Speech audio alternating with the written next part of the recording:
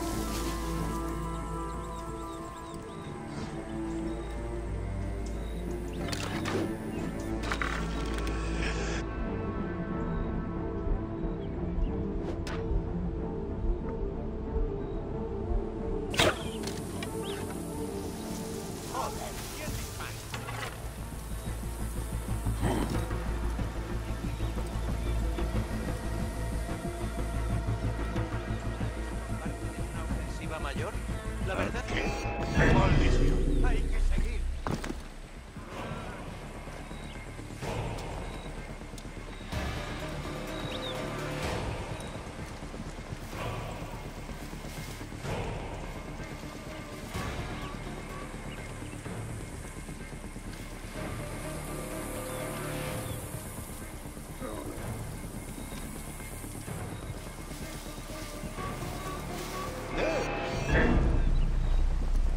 ¡Te mataré!